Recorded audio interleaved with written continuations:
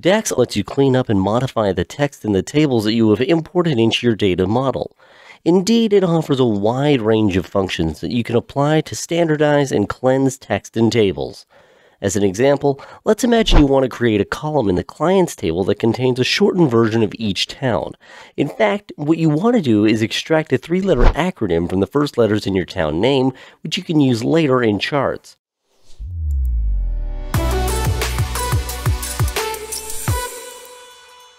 I have already opened the Cars Excel file and I assume that you did the same. So in the Power Pivot window, make sure that you are in Data View.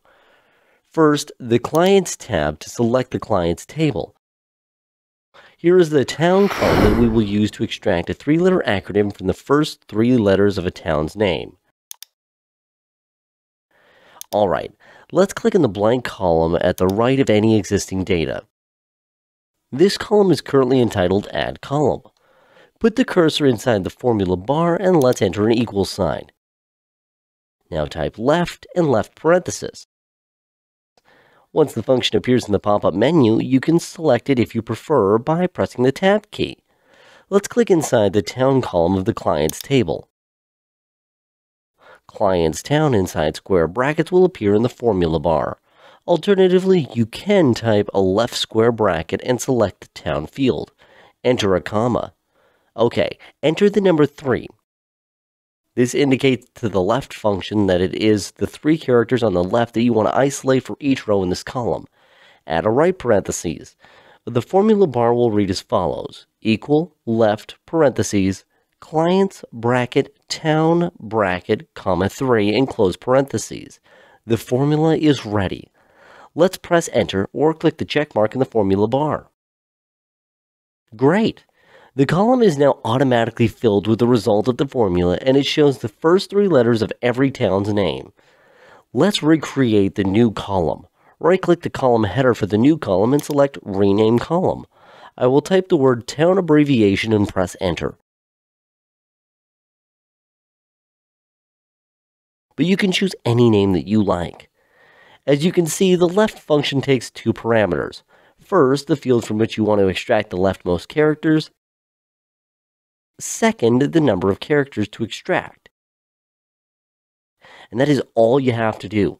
By applying a simple text formula, you have prepared a column of text for effective use in visualization. DAX contains a couple of dozen functions that you can apply to text in columns.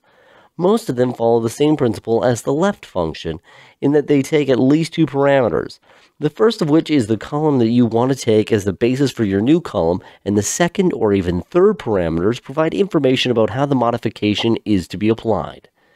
Since I do not have infinite time to explain every one of these functions, I have included a PDF file in your resources that contains a succinct overview of the selection of some of the useful text functions.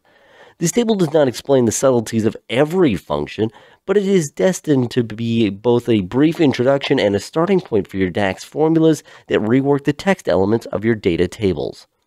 There are a couple of points to note now that you have seen how to use DAX formulas in Excel. Functions need not only apply to the entire contents of a column, they can be applied to a specific text as part of a more complex formula.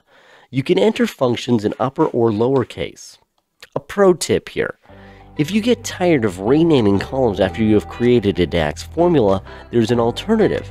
Simply begin the formula with the column name and then a colon symbol and an equal symbol instead of just an equal sign. This will rename the column at the same time that the new column is created